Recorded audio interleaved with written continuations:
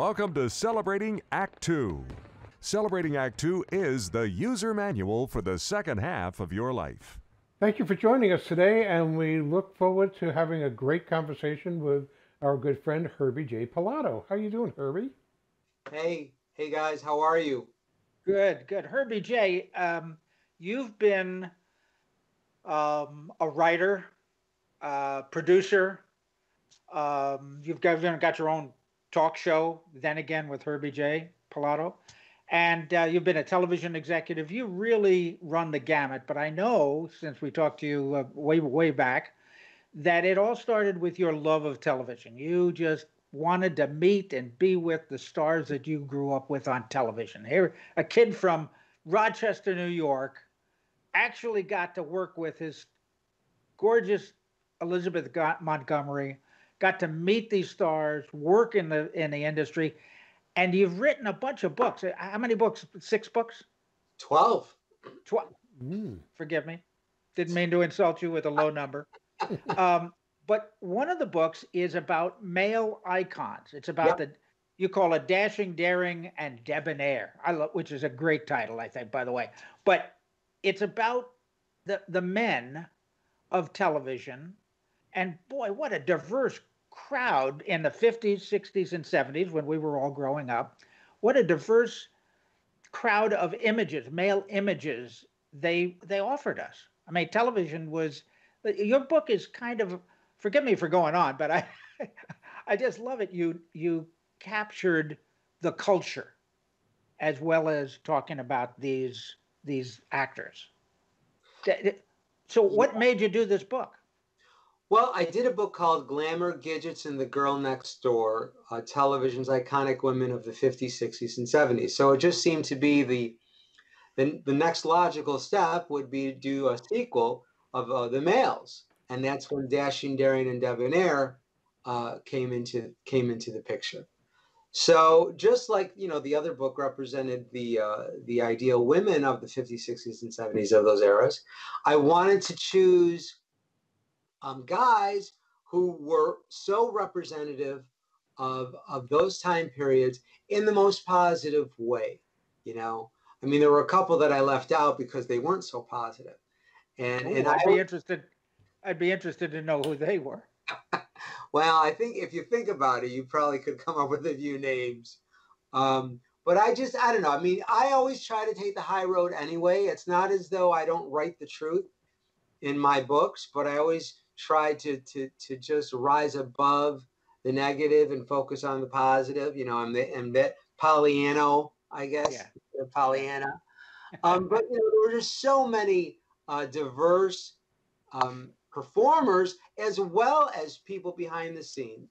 Um, because I, I also profile people like Norman Lear and Gene Roddenberry, you know, created Star Trek, and and um, and Michael Landon, who did both. You know, he was on Bonanza, Little House on the Prairie, and he was also a producer director. So I tried to cover a, a large um, width of, uh, of, of, of particular performers and and guys who were very influential in television.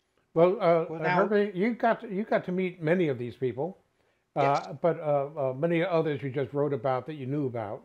So yeah. that uh, so uh, and one of the things that we really um, find fascinating about the way you've developed your career is that, as John said earlier, you got to Hollywood and you met a lot of the people who were idols of yours in one form or another. So uh, maybe we can start with uh, one or two of the people that uh, you met uh, and uh, who are of, particular interest as far as you're concerned. That you people that you actually knew. Yeah, yeah. Um, Larry Larry Wilcox is the first one that comes to mind from Chips. just a ter- terrific, terrific person, and um, just a terrific, terrific person. And he is so down to earth and and so um, accessible. And I was really impressed by him.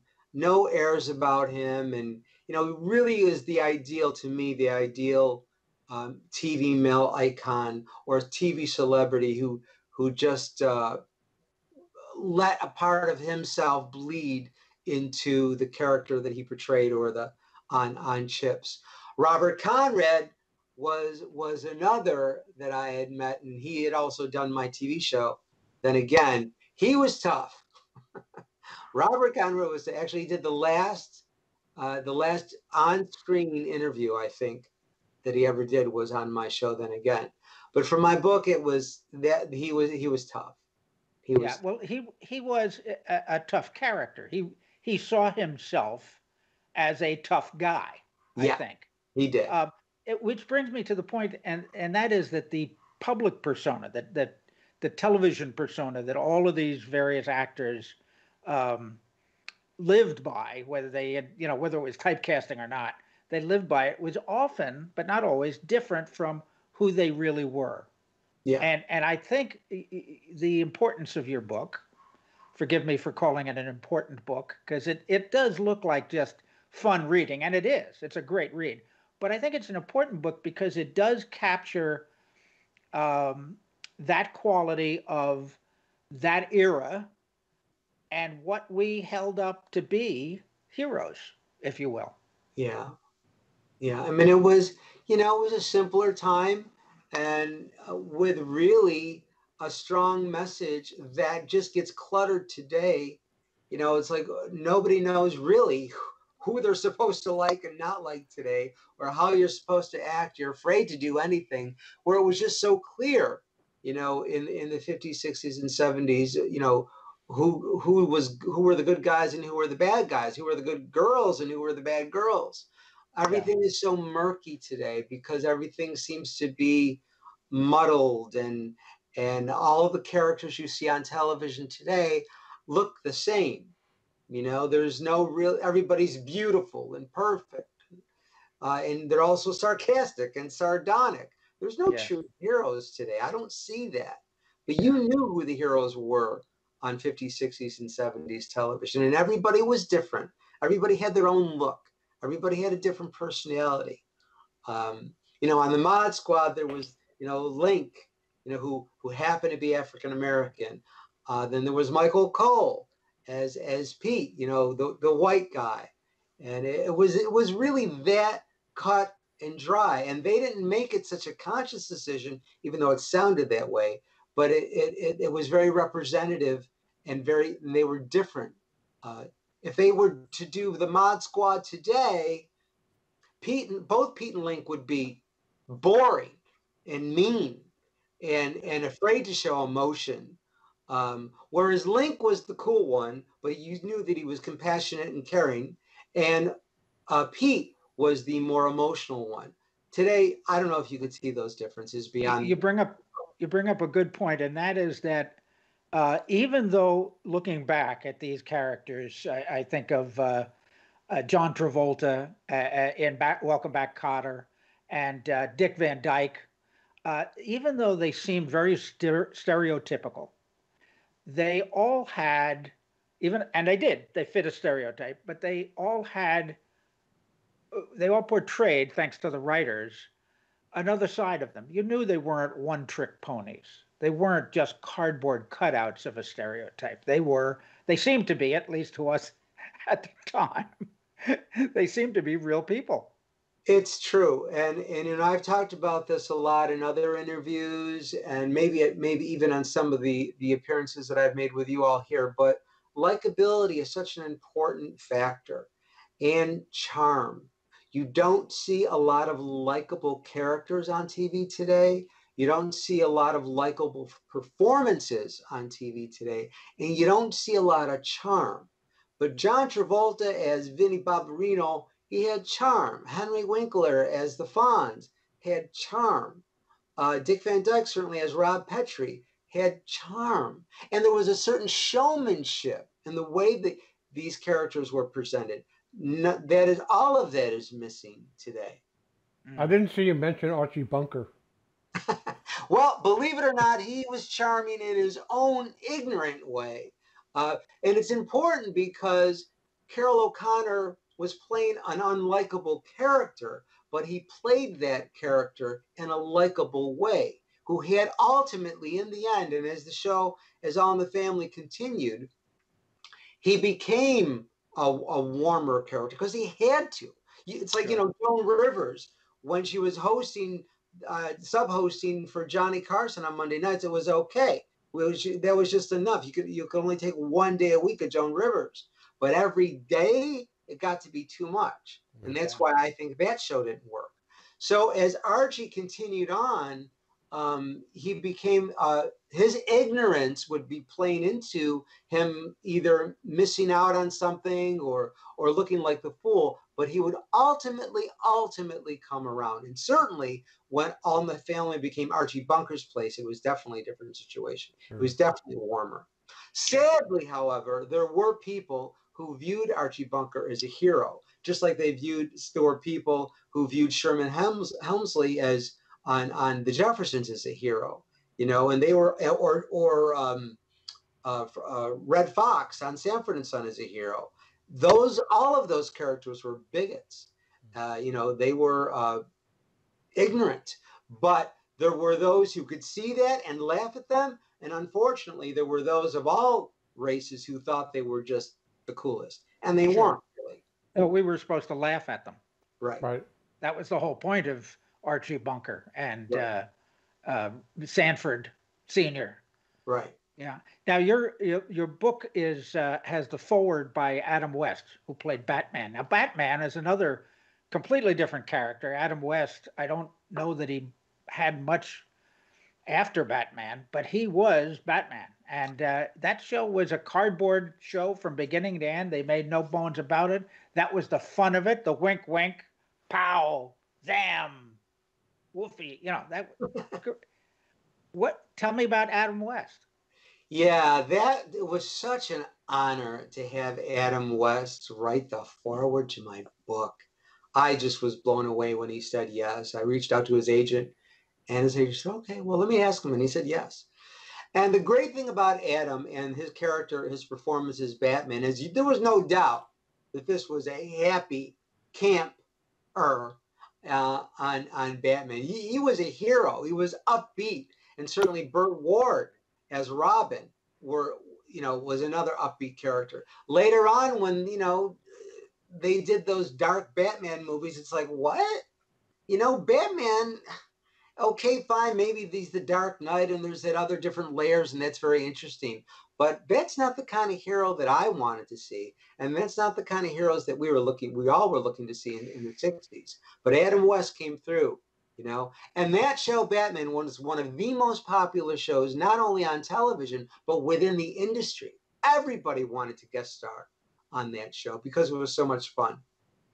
Well, that tells us about how t- times were different back then.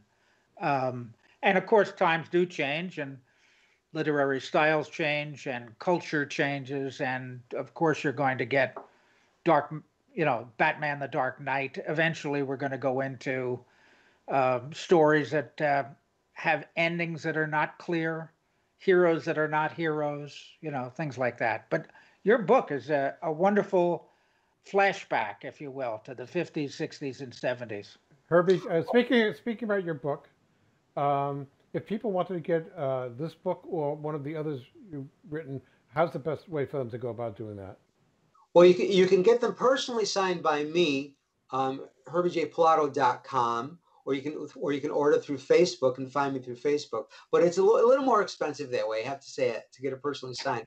So, but you can get them cheaper, um, hardcovers and everything, right on Amazon.com or or BarnesandNoble.com where they're they're very inexpensive. And it's and they you know amazon is, is wonderful for having uh, providing all kinds of of avenues and ways to get those books. Good. Well i hope everybody gets to read the book. It's a fun fun read. Thank you very much. I'm, I'm proud of it. Actually i i think it was before mary the Mary Tyler Moore story, it was my favorite book that I wrote. I, I worked very hard on it and I tried to expand upon things that I was not allowed really to do with the Glamour Gidgets in the Girl Next Door book. With Dashing, Daring, and Debonair, I was allowed to explore many more um, um, individuals than I was with the previous book. Well, well John, I'm I'm uh, I'm the one in charge of, uh, of putting our guests on the spot. So I'm Uh-oh. gonna I'm gonna do this now. I've enjoyed this conversation so much that I wanna I wanna make arrangements to uh, uh, tape another interview with Herbie on uh, Gidget and uh, some of the other books. So I think we're gonna have you back to talk about more of your books. What do you What do you think, John? Glamour, Gidgets, and the girls next door. Yay! Coming Let's up. Do- I'd love to come back, guys. You're terrific. You're very welcoming. You're everything that every TV star should be today. This well, we are, in that regard, we are fans. yes. And I, you know what I love about all your books, Herbie, uh, Herbie J, is that um, for me, they're history books. Yeah. Now, they're fun, they're cultural, and there's a great, you know, memory back, go back to relive some of those early years in my youth. But for me, they're also history books because I think we share a love of television and the development, the way things television started and have changed and changed and changed, and now we're streaming. Well, I, I tried to do with each of my books. I wanted whoever was reading, uh, whether it was Dashing or the Gidgets or whatever, I wanted them to be as happy reading the book as they were watching the shows. Oh, um, that's good. book's profile. So Yeah, that's how. you succeeded in that. You succeeded. We'll see you you. again, Herbie. Thank see you you. soon, we hope. See you, everybody. See ya. For more on Celebrating Act Two, visit our webpage, follow us on Facebook, subscribe to us on YouTube, and tell your friends. Celebrating Act Two is the user manual for the second half of your life.